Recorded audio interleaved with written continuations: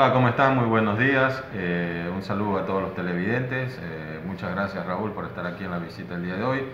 Eh, bueno, nosotros como banco, aparte de estar atendiendo ahorita el bono, todos los, los, bonos que hay, que el gobierno los está otorgando a toda la ciudadanía, tanto quevedeña a nivel nacional, nosotros también estamos en la reactivación del agro.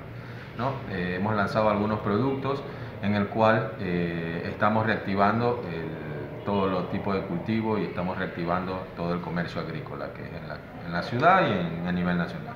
Respecto a ese tema, ¿cuáles son las novedades que usted ha captado, gerente? Eh, hemos realizado un nuevo producto para el banano, un nuevo producto para los palmicultores.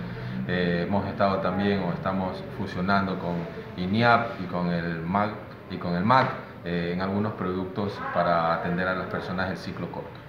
Ya.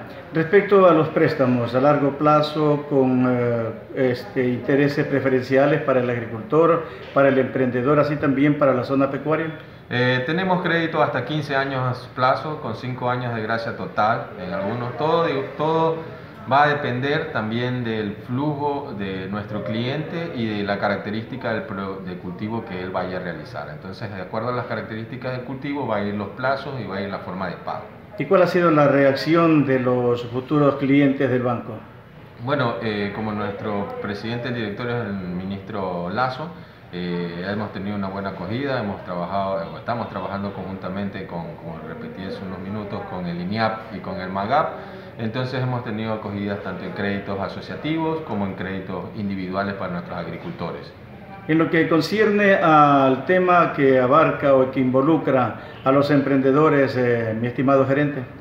Eh, nosotros ahorita con el, por la pandemia, por la situación actual del comercio y del servicio, eh, los emprendedores no tengo o no hemos tenido créditos que veníamos realizando comúnmente con la Secretaría Técnica de la Juventud. Eso está en stand-by hasta que se organice la Secretaría Técnica de la Juventud, porque se fusionaron, creo ellos, eh, con, otra, con otra cartera del Estado. ¿no? Eh, entonces, me imagino hasta que se organicen la Secretaría Técnica de la Juventud, comenzaríamos nuevamente a realizar los créditos de emprendimiento. ¿no? ¿Recuperación de cartera, gerente? Eh, bueno, el gobierno otorgó plazos, la moratoria automática que nosotros la estamos cumpliendo. nuestros clientes hasta este mes, ya en el mes de agosto, le comenzaría a cancelar sus cuotas.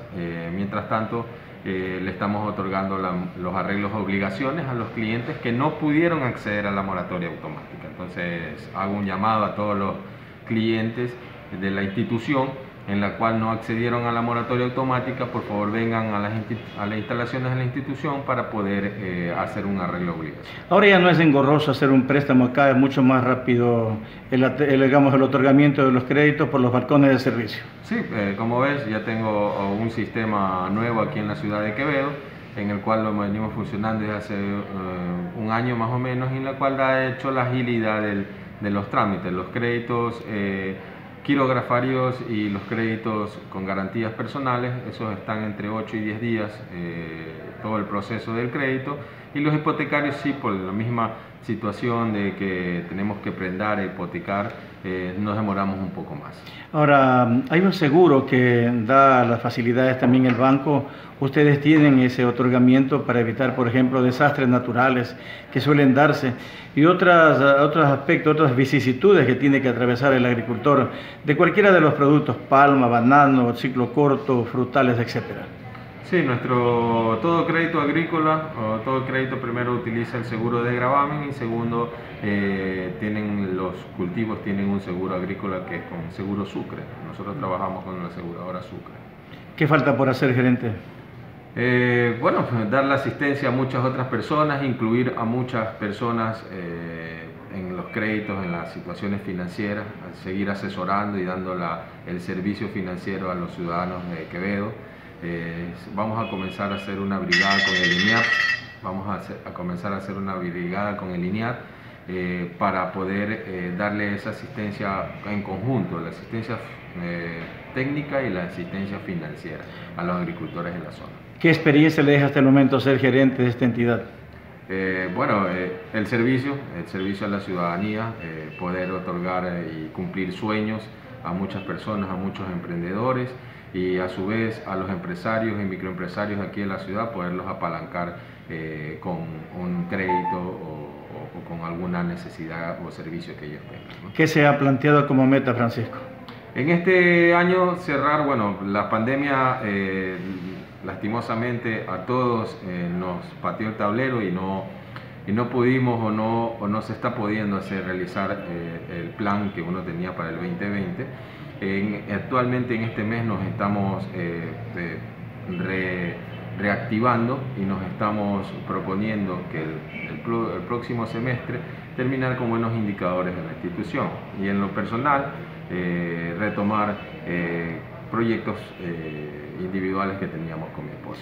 La asesoría está ahí permanente, gratuita, para no fallar en, la, en el retorno del dinero y aplicar bien en proyectos que vayan a darle una rentabilidad al cliente.